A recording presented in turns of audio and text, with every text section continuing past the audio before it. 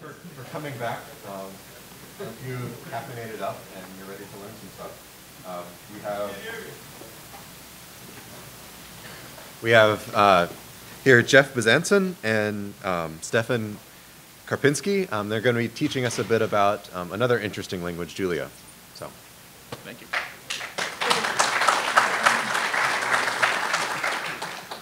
Hi, it's uh, great to be here. We, uh, we came last year and talked a little bit about Julia, and at that point it was all promises. It was all, um, you know, we could potentially have a lot of interoperability between Python and Julia, but this year we're happy to say that we actually have a fairly crazy amount of interoperability, some of which uh, Fernando actually demonstrated in his talk, so we had to change a couple of examples last minute, but um, that's okay. I'm going to talk a little bit first. I'm Stefan, this is Jeff.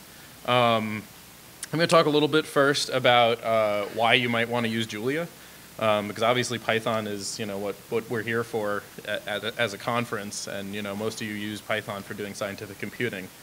Um, one of the selling points of Julia, is, of course, is performance. Um, we generally get in the you know in the range of between one and two x uh, of C code for just sort of writing high-level code the same way you would normal Python code. You can do that with a lot of you know various tools in Python though. You know you can use uh, you know obviously PyPy doesn't really operate very well with SciPy, but you can use things like Cython um, and very, various other things that we're going to hear lots about at this conference. Um, but there's other things that are kind of nice about Julia that I'm going to talk about here. So I have three of them listed up here on my very ad hoc text-based slide. It's the only slide we have in our entire talk. The rest is just code. Um, so one thing is having a nice type system. Uh, and we, we kind of know that we need type systems for science. Scientific computing is one of those places where suddenly like this whole idea of like dynamic languages without any way of talking about types starts to kind of fall apart.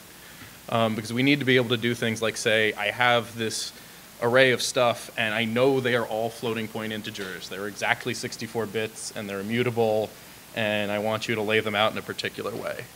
Um, so you know what what ends up happening is that all the all the various Sci SciPy you know packages in the SciPy umbrella have developed their own ways of expressing that kind of thing. Um, unfortunately, this leaves you in a situation where you have a, a lot of different type systems. Uh, the nice thing about Julia is that it has built in a type system that is actually very sophisticated and very powerful, and the compiler knows how to make great use of that information. So just as an example, um, here is the actual definition of the complex type in Julia's type system. Uh, th this is not, you know, like a mock-up. This is exactly what we, this is from the source code. Um, so it's defined in Julia itself, so there's no C code involved here. And you just say immutable, which is, uh, you can define mutable or immutable types. Ty type gives you an, a mutable type. Numbers, usually you want them to be immutable, because it's defined by its value. I can talk about that a little bit more, but it might be sidetracking. So basically what this says is complex is got one type parameter, which is some real, real type. Uh, a complex is a, type of number. And it's got these two fields, real and imaginary, which are of that type. Um, so, you know, this is pretty straightforward. You can just make a complex number, one and two. And you can see the type of that thing. So that's a complex number of type int64. So immediately you see something here that kind of, you know, the, the, the, the parametric business gives you actually a lot of power. Um, you can already do things like, you know, a complex number of, you know, that's, that's floating point. This is actually a completely different type. Um, but, you know, they'll, they'll interact. And also this, uh, this notation works, works smoothly. So you can do something like this, and that'll all work. Um, so what's interesting about this is that you can, you know, so you can, you can access, so let's just call this guy Z. Um, so you can access the fields of Z. Um, you can't assign to them. And this is, you know, this sounds like a limitation, but it's actually really handy. Um, because if you imagine what, what we would do here, if this thing was mutable and you assign to z, uh, and then you change the field of z, you'd get w changing out from under you, and that's like not the way numbers work, right? A number is defined by by its ident- it, its value is its identity. If you change the field of a number, it's not it's a different number. It's not the same number, just modified. Um, but it also allows us to do things like like representing these very efficiently. So if you do size of z, you can see that it's exactly 16 bytes.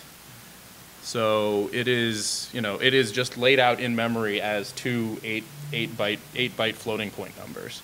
Um, you know, you can also do things like uh, i plus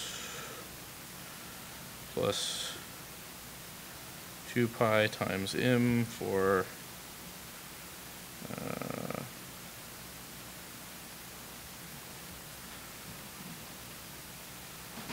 Okay, so now we have an array of complex floating point numbers.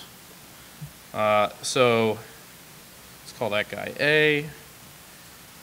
Okay, so because these guys are immutable, we also can lay those out in memory compactly. So now this is exactly, you know, 2 times 8, which is the size of a complex number, times the size of this guy, 10, 160. So of course you can do all this stuff in NumPy. Um, the thing, the advantages you get here are just that it's really easy to, to, to do user-defined things. So you don't have to write any C code, um, and also just that the compiler can give you all these beneficial things like an entire lattice of types just from one single type de- declaration.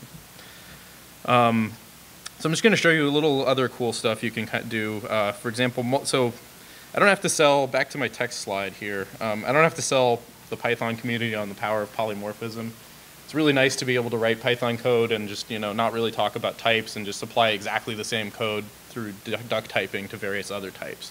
You can get a little more discipline here um, in Julia because you can actually annotate what the types something applies to are and get you know runtime type checks. But the real power comes in with multiple dispatch, which is where you can actually say in you know particular you can define particular methods for various combinations of types of arguments. Um, and I'll give some examples of that. I mean, so the classic, you know, the classic classic thing here is just the the plus operator. I mean, it's hugely polymorphic. If you just look at the plus the methods of plus, you know, there's all these different things. These are all just different combinations of ways of adding different things. Uh, some of them are generated, some of them are generic. Um, you know, another interesting one. This this one is particularly interesting. The power operator is particularly interesting because you want to be able to do things like, you know, uh, you know, take a take a, a matrix and raise it to an integer power. There's a little bit of a delay there. That's because we're JIT compiled. So the first time it, you know, it's like, oh, I haven't I haven't raised any matrices to powers. So, you know, second time it's fast. Um,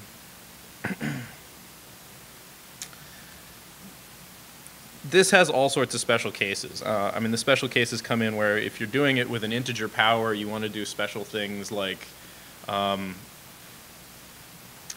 you want to use uh, power by squaring, so you don't have to do additional work that you wouldn't otherwise have to do. We can actually, you know, we can we can do this. We get a little bit of overflow if we apply the big operator that. No, eh.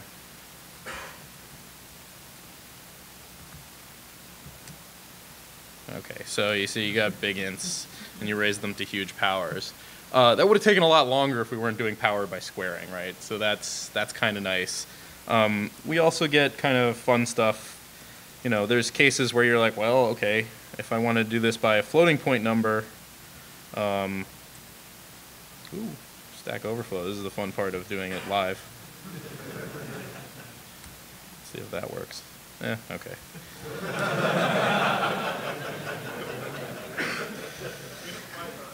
Yeah. um, if you don't occasionally get a Stack Overflow, you're not going fast enough. Um, so anyway, this is just a taste of the things you can do with Julia, and I'm going to hand it over to Jeff, and he's going to show you all the cool interop we have these days with Python.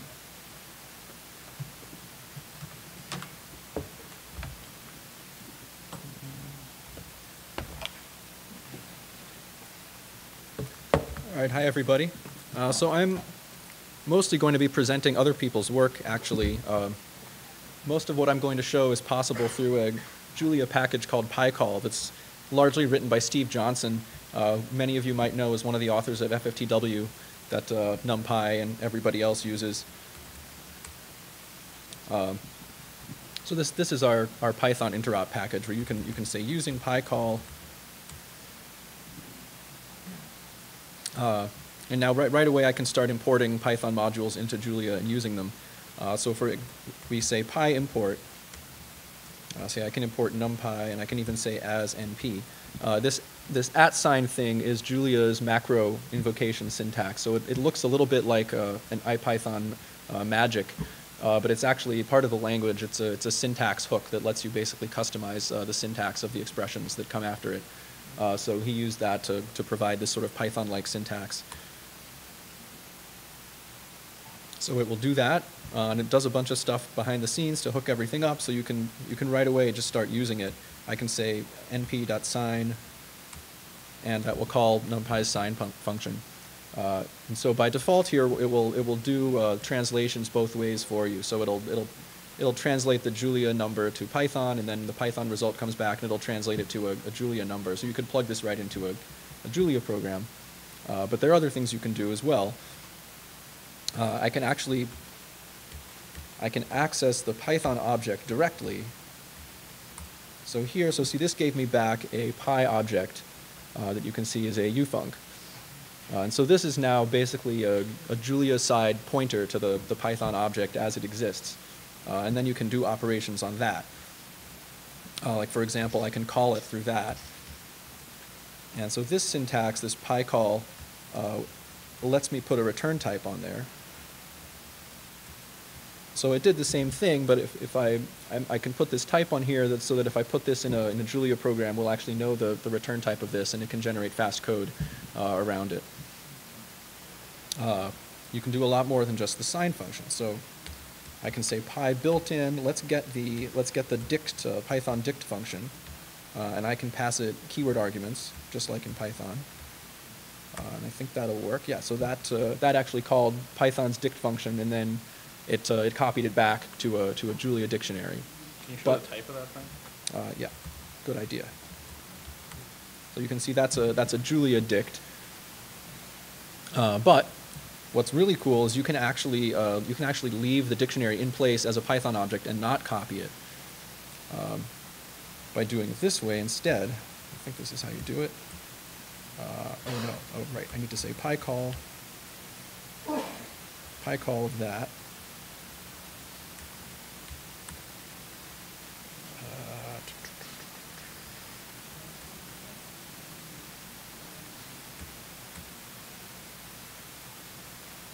Hmm. Let me check my cheat sheet here. Uh, uh, yes, thank you, Fernando.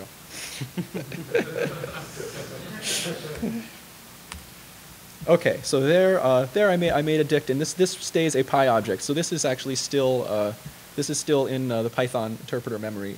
Uh, it hasn't been copied.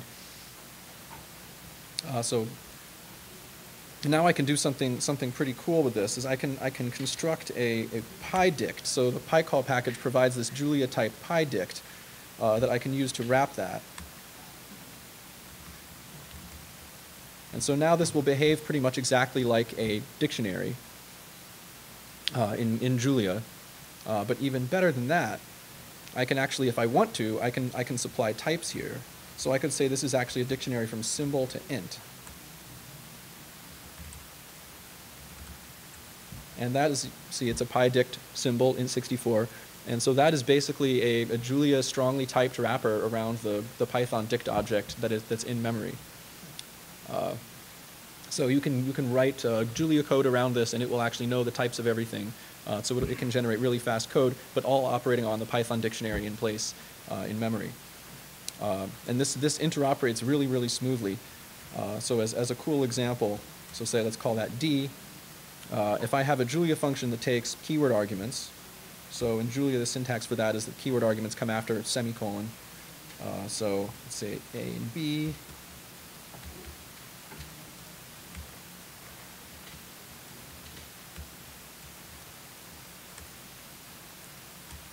So I could actually pass that dictionary as keyword arguments to this Julia function, and it just works. So it's really, really nice interop, and this is all because of, of Steve, Steve's work and several other people in, in the community.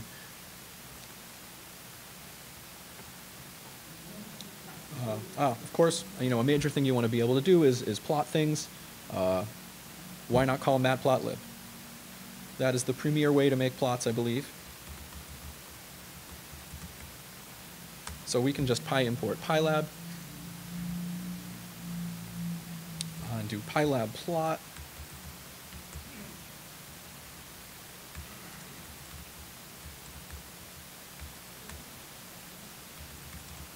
And show it, and there you go. You get you get your plot. So that is cool. Uh, I think the syntax is similar enough between Julia and Python that it's not really confusing to anyone to use slightly different calling. All right, now in my other, uh, other shell here, uh, I have checked out a copy of the Julia IPython project, which uh, many thanks to Fernando, who's been, uh, who did a great job of helping us get going with this and uh, who sat us down and we had a nice uh, couple of fun hacking sessions putting this together. Um, and so we can do uh, we can do some cool stuff from within uh, Python. So if I start IPython in there uh, and do load ext julia.magic,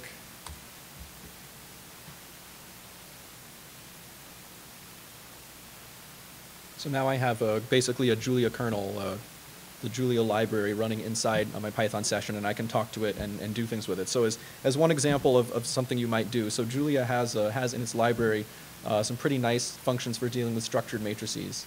Uh, so we can, we can show how you might call some of those. So say I have, uh, so say I have a, what happened? I pushed the make the window tiny button. Why is that one key on the keyboard? I don't want to make the window tiny button. All right, so let's say I have a, a diagonal and a and an off diagonal, just random vectors.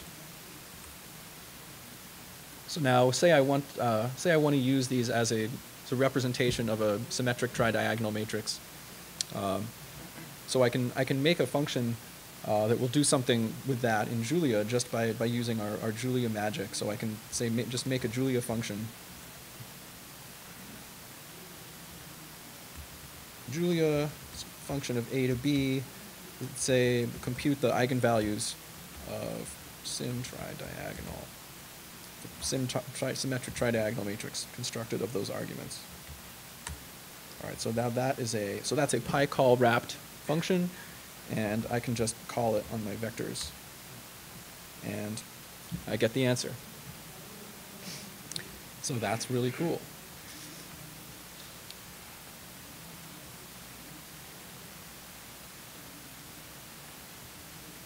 Yeah, there's a very rich system of uh, matrix types in Julia um, that um, Viral Shah, who's one of the project Julia project co-founders, and uh, Andreas Jensen have been working on, uh, and Doug Bates, and it's just really impressive stuff. Oh yeah, I'll just I'll just show this off a bit more because this is fun. So someone, uh, this guy Andreas recently wrote a sort of general purpose uh, sort of matrix factorizer expert.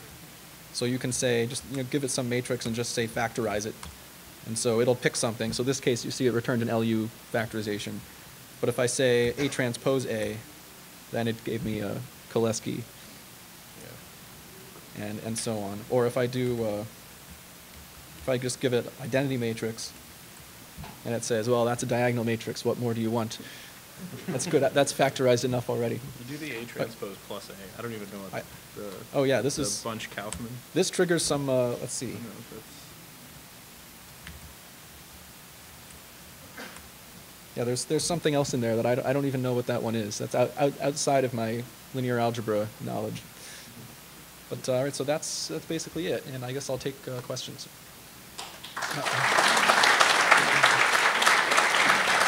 Uh, Yeah. Does your array storage have, have abstractions around other storage routines that, that are not necessarily using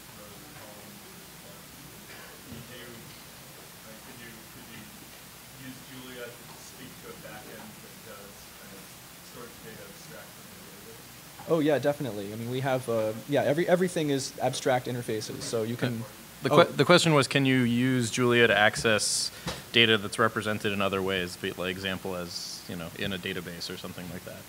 yeah, so everything is done through abstract interfaces. So people define you know new array-like types and, and things like that all the time. Yeah. And in fact, I mean, one, one such type is actually NumPy array. So we have a Julia type for NumPy arrays that keeps the, the storage, you know, in place and accesses it. Uh, yeah.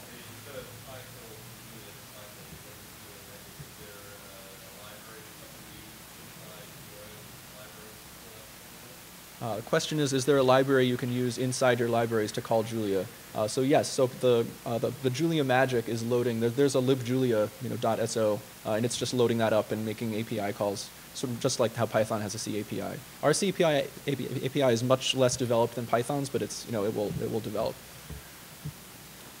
A few more questions. Can I get the next author to come up, please? Uh, yeah. How's, uh, namespaces going? Name, oh, namespaces has been in- completely there for like at least a year.